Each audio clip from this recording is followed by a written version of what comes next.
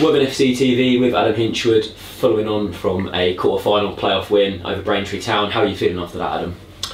Yes, obviously, unbelievable achievement. Uh, for the, I, thought, I thought the players were superb, to be honest. Um, you know, I think scoring an early goal sometimes settles people down. I think if anything, it made us more nervous, and uh, in particular, I thought the two centre midfielders were, you know, um, really hyped up for the game. And you know, sometimes they're passing. I thought I remember Pax playing one back to Harrison, and then you know, absolutely fired it in, led to a corner, and that um, led to them scoring. I think where we just didn't get out of a half. Um, so yes, obviously. Um, unreal result. Uh, I thought it was deserved. I thought we had some chances. I thought Ibby was was a handful tonight. I thought David was a handful, um, and it's it was a tough tough selection um, to leave Dan Bowry out, who's been immense uh, in the last game. Um, he come on against Cheshunt was really good, um, and put in an 18 year old. Um, you know, it was was a real tough decision. Leave Mo Deborah out, who scored two in the last two games. Um, you know, so that the whole squad have been excellent and been together. I said they'd all be needed, um, and yeah, just delighted that the lads out there performed, but the whole the whole squad stuck together, and there's a real good good atmosphere and good team spirit, and I think that see us through in the end. You spoke about wanting to improve the performance following on from Saturday. Do you feel the team did that tonight?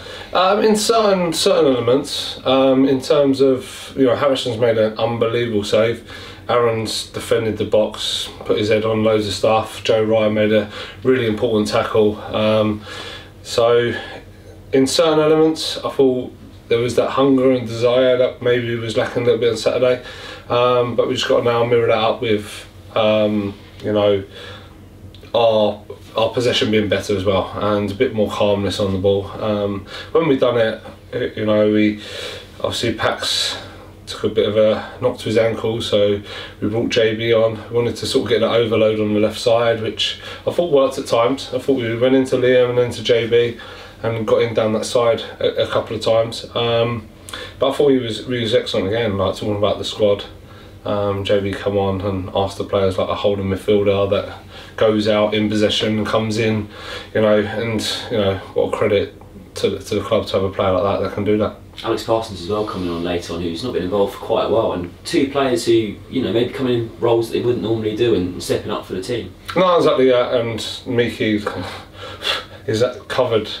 You know, um, I was going to say every blade of grass, but every blade of 3G out there today, he's, he's covered it, and he, his work rate, um, you know, was first class, and that's all you can ask. I think if you leave everything out there and it's not quite your day, or they get an equaliser and it goes to extra time, whatever, then you hold your hands up their good side. Um, you know, um, you know, I was a bit probably out of order when we won here, um, but I felt we was disrespected when we went to their place, and you know, let them know that. Um, but you know, it, it, played on my mind that. Um, you know that's not how we conduct ourselves, and you know I was I was apologetic to them, and you know I've got nothing but admiration for what they do. They're, they're a tough side, they're a good side. It's Got some really good players, um, and ultimately we're all trying to get the get the win.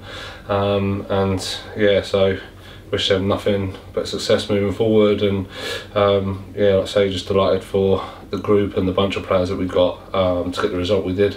Tough battle out there today. You spoke about the nerves that came after the first goal. How did you feel once that second one went in? Uh, was that like a feeling of relief for you? Um, yeah, was a weird sort of goal. I don't know if the keeper got underneath it or it got um, in the lights or something.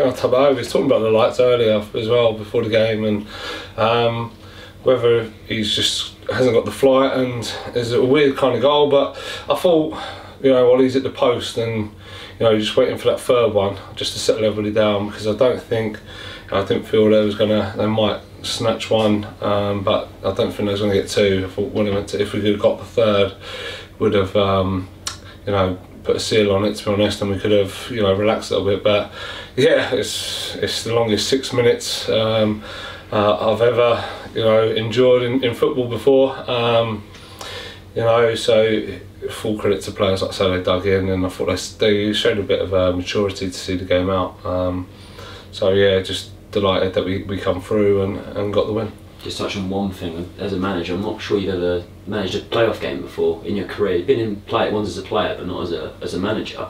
How was this experience for you tonight? Um, I loved it to be fair. Um, yeah, it's it's there's not too many times during the course of the season where you actually want to be playing and be out there playing. And I felt that today. I felt, you know, massive crowd here, you know, really spurring you on, getting behind you, and you know, there's lots on the game, and they're the type of games that you want to be playing in. You know, I said to the lads before the game, like, imagine, you know, we, we're set at home now with our slippers on and you know, nothing to play for. Um, you know, these are the games you've got to relish and really enjoy. And um, I think, you know, some of us took that, you know, completely the other way and was too fired up. Um, and we just got to enjoy it and relax into what we do. But there was a lot of good stuff out there, a lot of good performances, and you know, probably biased, but I thought we deserved the win in the end. How did you feel going to Sunday uh, away at Oxford? No, yes, obviously dust ourselves down. Um, you know, um, we, we got to prepare properly. It's it's easily, I say, obviously, Ebbsfleet has been the toughest test. Um, there's no question about that. They've been excellent all season, but other than that, I'll probably say Oxford was the next best test, especially at their place. They, they play that box formation. Um, they work it really well. They've got good rotation in their side, and um, yeah, they caused us some problems on the day. Um, I think we was out without Aaron, without Pax. A few players was missing on the day, but we'll go to a different team. Um, but you know, it, it's going to be a real, real tough game. You know, they've they've finished third. Um, so absolutely no marks, and we've got to bit our best to absolutely do get anything from it, and just to even make it a game, we've got to perform at um, levels that probably we haven't performed at before. Um, but you know, one thing there's there's they're a group and I think like I said to you before like the team spirit that we've we've shown and togetherness throughout the group has, has seen us through and if we can go there and be calm enough to play our way but you know also on the flip of it play with the spirit that we played with today um, you know I think it would be a real, real good game. But turning on tonight and celebrating tonight, what crowds over 2.6 thousand here tonight at Woodside. Yeah. What a night it's been. No, yeah, on a Tuesday night, and you know, it's, it's, it's I, I, I think it's it's what this town can generate. Um, you know, I think we want to get to a place where this is the norm at, at the club.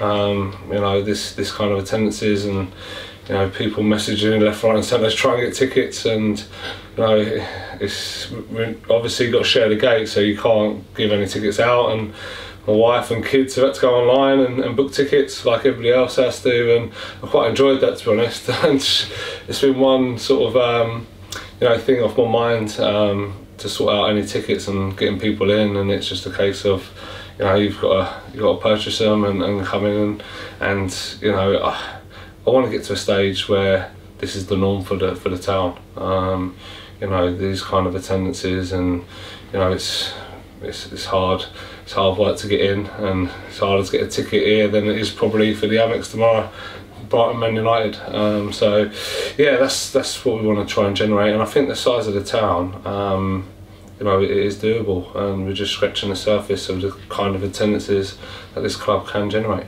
Congratulations and thank you. Last one cheers